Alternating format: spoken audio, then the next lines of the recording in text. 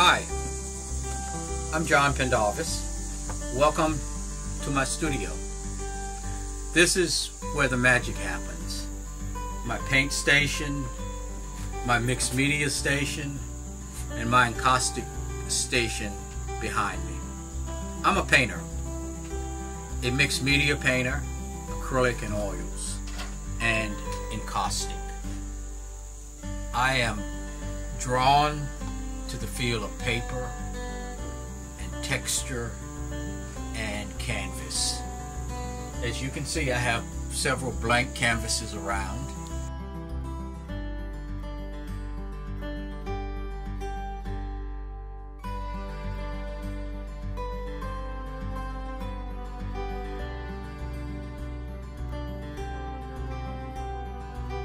Right now, I'm also working on this very large piece.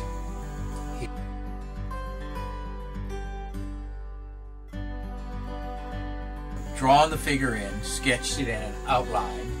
I probably won't do any more than that before I start painting. But the first thing I'm going to do is take this red paint and I'm going to underpaint the whole canvas red. Underpainting in Like red that. or underpainting in black. Gives a different feel to the canvas than just leaving it.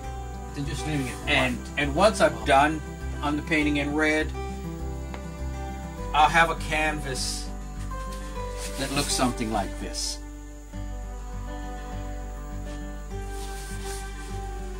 And then I'll start actually painting. So when you look at my my work and here a wall of my work on it. work there. All the pieces have been underpainted underpainted in red.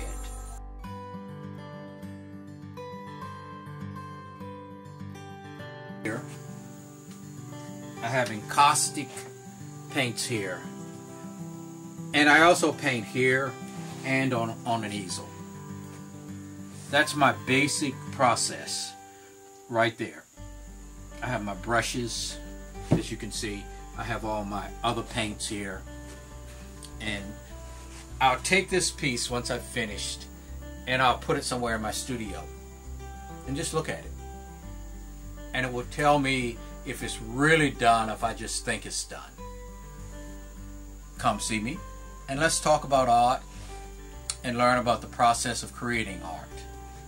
So thank you for seeing my video